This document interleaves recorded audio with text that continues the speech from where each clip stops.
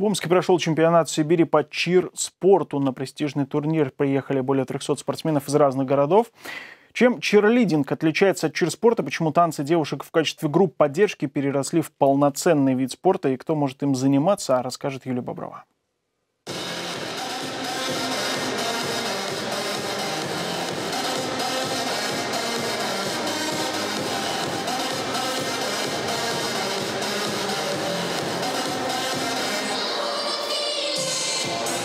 Яркие наряды, помпоны и, конечно, сложные, но запоминающиеся акробатические элементы. Амичка Юлия Отрадного в чирспорте уже 8 лет. Была в группах поддержки авангарда и Амички, но каждый старт для нее определенное волнение. Это очень сложно, потому что у нас присутствуют гимнастические элементы, акробатика. Все равно это не просто помахать с бамбушками, это нужна сила, нужна растяжка, ну, большой труд.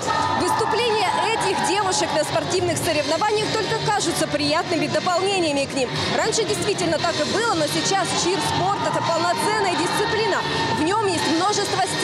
А чтобы станцевать вот такой номер, как у этих девушек, требуется 9 месяцев подготовки. Чир-спорт и группа поддержки – это разные вещи. Здесь занимаются дети, которые не выступают чаще всего на, в качестве групп поддержки.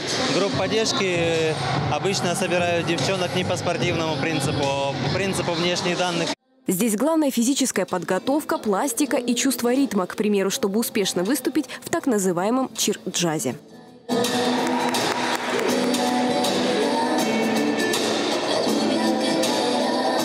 Эти девушки выступают в еще одном стиле – хип-хопе.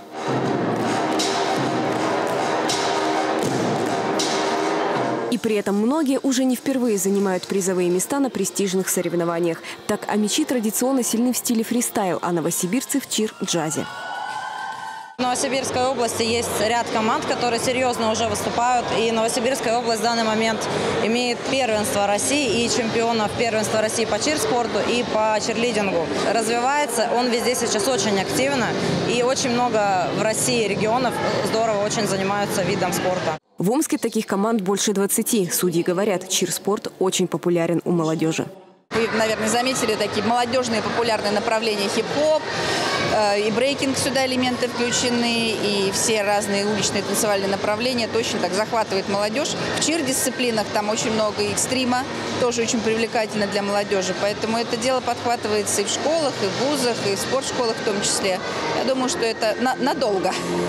На этом чемпионате выступили более 300 спортсменов из разных городов Сибири. Лидеры по количеству завоеванных медалей – Омск и Новосибирск. Победительницы уже в ноябре поедут на Кубок России. Юлия Боброва, Александр Лысак. Новости здесь Омск.